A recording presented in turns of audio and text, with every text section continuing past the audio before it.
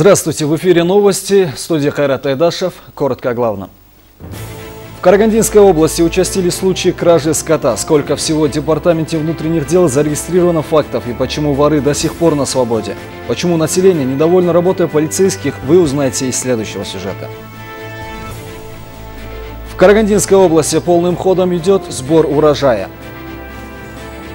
Начинающим предпринимателям объяснили, как начать бизнес. В Караганде состоялся семинар по разъяснению порядка получения мер государственной поддержки.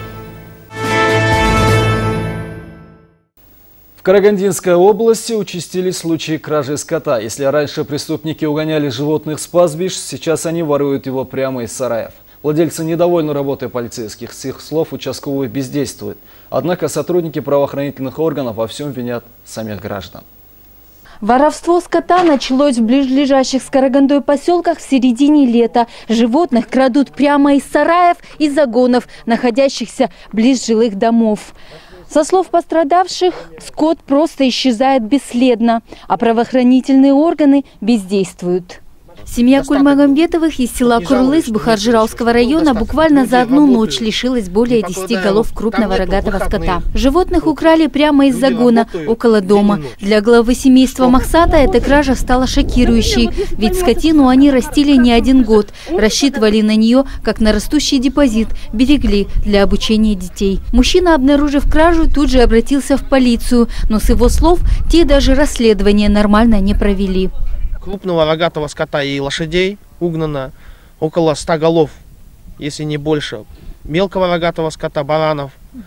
тоже украли. И все бесследно. Никто еще не поймался, никаких результатов. Приехали сотрудники полиции, посмотри, осмотрели место преступления, приняли от меня заявление. Все, после этого они со мной никак не связывались. Украли животных со двора даже у бывшего Акима села Курма Абайского района. Экс-чиновник, ныне пенсионер, потерял в августе 15 голов крупного рогатого скота. И вот население ко мне приходит, говорят, если у Акима, говорит, украли 15 голов, говорит, тогда вам, нам, говорит, вообще, говорит, скот держать нецелесообразно. Поэтому я призываю вас, э, в том числе широкие массы, допустим, жителей правоохранительных органов, нашли этих бандюк и наказали их что по достоинству. Такая же картина и в селе Заречное. Со слов жителей, кражи здесь совершаются очень часто. При этом, со слов потерпевших, население не может заставить участковых работать, ведь полицейский пункт расположен в соседнем селе Уштубе, да и обслуживает он территорию нескольких поселков. У нас не работает здесь участковый, только по вызову. Вызываешь, они приезжают через несколько часов. Если даже вот э, драки там что-нибудь случается, если кража, Сотрудники Департамента внутренних дел участившиеся случаи угона скота не отрицают. С их слов, с начала года в области зарегистрировано более 200 фактов. В первую очередь населению нужно самим усилить охрану сараев и загонов. Без их бдительности поймать преступников очень трудно, поясняют они.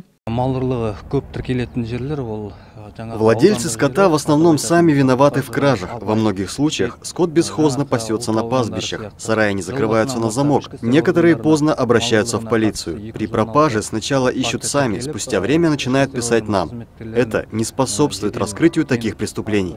Несмотря на такие доводы полицейских, большинство пострадавших уверяют, животные пропадают не с пастбищ. Население просит вмешаться в ситуацию властей и помочь правоохранительным органам начать все-таки разбираться. А имам Рина Исламбек Оспан, Александр Цирикидзе, первый Карагандинский. Что посеешь, то и пожнешь. В Карагандинской области полным ходом идет сбор урожая. Аким области Нурмухамбет Абдибеков с рабочей поездкой прибыл в Асакаровский район, где ознакомился с ходом уборочных работ. Подробнее в материале Ларисы Хусаиновой. Именно Асакаровский район является одним из крупнейших производителей сельскохозяйственной продукции в Карагандинской области. Урожай не рекордный, но результаты хорошие. В целом по региону валовый сбор зерна планируется обозначить шестизначной цифрой – в 570 тысяч тонн, в том числе пшеницы – 450 тысяч тонн. Сбор картофеля составит порядка 300 тысяч, а овощей – 90 тысяч тонн. В Осакарском районе уже более 80% тоже убрано, осталось порядка 50 тысяч гектаров. Э, надеемся, что погодные условия позволят в течение э, ближайших пяти Э, 7 дней завершить уборочную кампанию как по Осакаровскому району, так и по э, области в целом. В уборочной кампании задействовано свыше 2000 зерноуборочных комбайнов. Из них 58 новых, приобретенных в этом году. Все аграрии обеспечены горюче-смазочными материалами в полном объеме. И хлебоприемные предприятия готовы к хранению зерна. Лариса Хусейнова, Александр Церекидзе, Первый Карагандинский. Отопительный сезон в Карагандинской области начнется 1 октября. Первыми тепло получат детские сады, школы и другие социальные объекты. Сегодня на совещании в Акимате области обсудили нюансы подключения и готовность домов. Подробности в следующем сюжете. К отопительному сезону, со слов чиновников, все социальные объекты и жилые дома уже получили акты готовности. Однако в некоторых поселках Актугайского района есть проблемы. Вызывает опасения подготовка к отопительному сезону в поселке Сарашаран Актарайского района, так как на котельных поселка имеется менее 200 тонн угля 10 дней. Завоз угля не осуществляется в связи с задолженностью перед угледобывающим предприятием за прошедший отопительный сезон. Глава региона Нурмухамбет Абдибеков призвал чиновников быть наготове. В случае необходимости Актугайскому району нужно помочь, пояснил он. Вести ежедневный контроль за температурой внутри помещений подведомственных объектов – осуществлять контроль за рациональным использованием запасов топлива. Запуск тепла на объекты соцкультбыта завершить до 10 октября текущего года. Со слов отчитавшихся, с 1 по 12 октября жители нашего региона получат тепло. На сегодняшний день все ремонтные работы завершены. Запасы угля и мазута есть. Тем временем синоптики прогнозируют резкое похолодание. А имам Рина Габасов, Александр Цирикидзе, первый Карагандинский. Спонсор показа Galaxy Group, производитель продукции торговых марок Алюгал, Галвин, Херкюль. Галвин. Оконные системы А-класса. Долговечность 60 лет. Галвин. Морозостойкий, надежный, прочный. Для тех, кто ценит качество.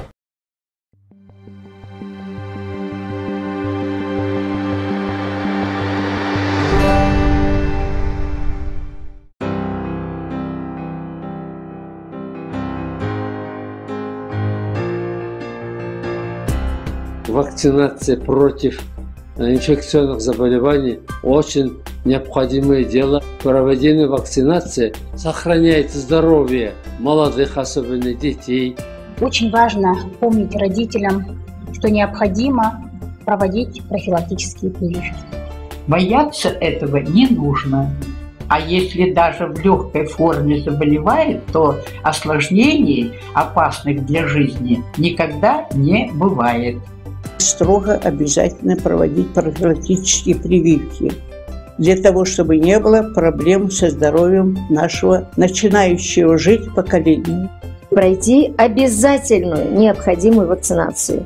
Вопросов буду не буду, не должно быть. Вот советская система вакцинации, мы же все выросли в этом, мы все получили прививки. Она самая действенная, самая результативная. И надо не бояться и обязательно защитить детей. Вы не имеете права подвергать своих детей такой опасности.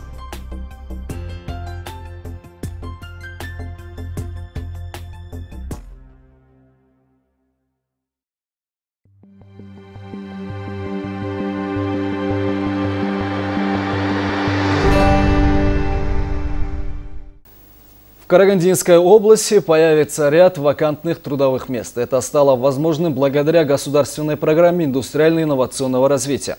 На заседании Координационного совета под председательством Акима области Нурмухамеда Абдыбекова рассмотрели два инвестиционных проекта, рекомендуемые для включения в карту индустриализации. В том числе три предложения по карте индустриализации один из проектов в рамках единой программы поддержки развития бизнеса Дорожная карта бизнеса 2020. Больше 10 проектов было предложено одобрение Координационного совета и два проекта, претендующих на включение в карту индустриализации. Проект, предложенный ТОА ПК «Волынский», призван перерабатывать стоки животного происхождения и производить электричество, газ, тепловую энергию и биоудобрения. Плановая стоимость проекта 267 миллионов тенге. Будет создано 11 постоянных рабочих мест в Букар-Журавском районе. В карту индустриализации также предлагается включить проект ТОА «Таухи «Урхентимир», который предусматривает восстановление и запуск рудотермической печи номер два по производству технического кремния. Благодаря двум запускаемым печам выпуск кремния будет составлять 25 тысяч тонн в год, что создаст 67 новых рабочих мест. Значит, основные потребители Российская, Российская Федерация, Германия, Нидерланды, США.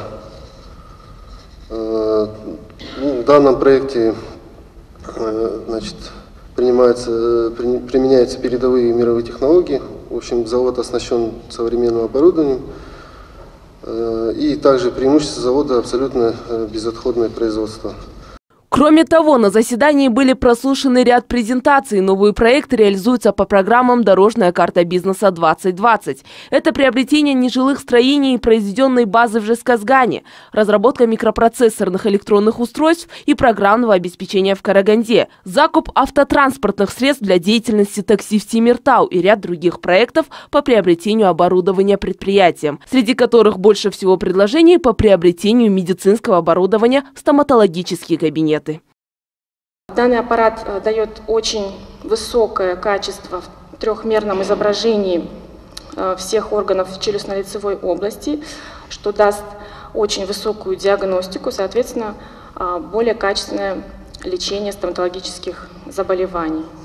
По итогам заседания Аким области Нурмухамед Абдибеков поручил Акимам городов и районов после получения протокола провести мероприятия по заключению договоров субсидирования, а Управление предпринимательства и промышленности направить пакет документов по одобренным проектам на финансирование. Фариза Улбаева, Ужас Габасов, Александр Царикидзе, Первый Карагандинский. Сегодня состоялся семинар-консультация по разъяснению порядка получения мер государственной поддержки индустриальной инновационной деятельности. Представителям бизнеса и только начинающим предпринимателям объяснили, как и с чего необходимо начинать свое дело. На семинаре также присутствовали фрилансеры, студенты и магистранты. Подробности далее. На семинаре подробно обсуждались вопросы развития инновационной деятельности в Казахстане, эффективность и виды рынков, особенности менеджмента, навыки ведения деловой коммуникации, переговоров, продаж и презентаций. Знающие в этом деле толк люди делились опытом с начинающими предпринимателями. Семинар по разъяснению мер государственной поддержки, в частности предоставления инновационных грантов а, и конкурсов, а, инновационного молодежного конкурса по пяти категориям, где будут разъяснены все, все необходимые инструменты, как можно подготовить проект. Категория, кто может участвовать э, в конкурсах, это начиная со школьников 5-8 классы, 9-11 классы, также это молодые ученые, э, рационализаторы, которые могут представить какие-то свои проекты, э, свои решения, свои идеи. В семинаре приняла немаловажное участие Карагандинская бизнес-ассоциация «Искер». Спикеры выступали с небольшой речью, где давали понять, как сейчас необходимо начинать развивать свое собственное дело и не давать ему стоять на месте. Рекомендация действующего бизнеса. То есть мы а, перед тем, как прийти, а, сделали рассылку среди наших членов, которые а, мы там сделали заметку, чтобы она была сфокусирована на молодом предпринимательстве, наставление молодым, и, соответственно, их мнение, то есть наше мнение, наш опыт, опыт наших пяти ассоциаций в Казахстане, мы сегодня решили поделиться. Во второй половине семинара прошел конкурс «Стартап бизнес-проектов». Конкурс посвящен тематике международной выставки «Экспо-2017. Энергия будущего». В нем приняли участие ученики и студенты. Они начали готовиться к защите своих проектов за три месяца. Один из организаторов конкурса – Центр по работе с молодежью. Молодой участник представил оригинальный проект о прямой доставке товара из магазина к потребителю домой. Мой проект это э, основывается на создании компании, называемой МК. Оно предоставляет услугу доставки населению. То есть, например, если вы дома и хотите пойти в магазин, то есть, если вы не хотите пойти в магазин, то можете позвонить компании, и компания приносит из магазина вам домой товар, и вы платите сумму товара и плюс комиссию за доставку. По окончанию мероприятия участникам конкурса были розданы призы и грамоты.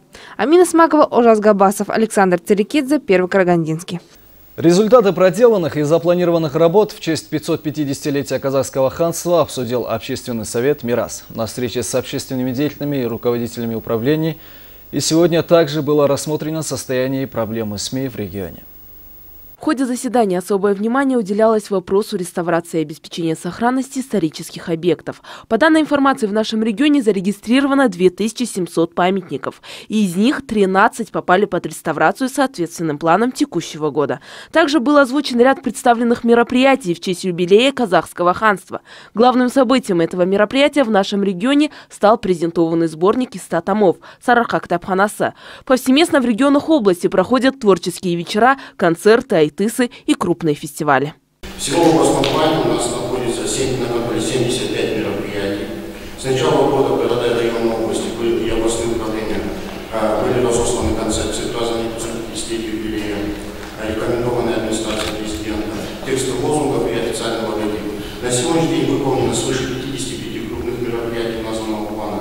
Среди них научные, культурно-массовые, спортивные, информационные и другие мероприятия.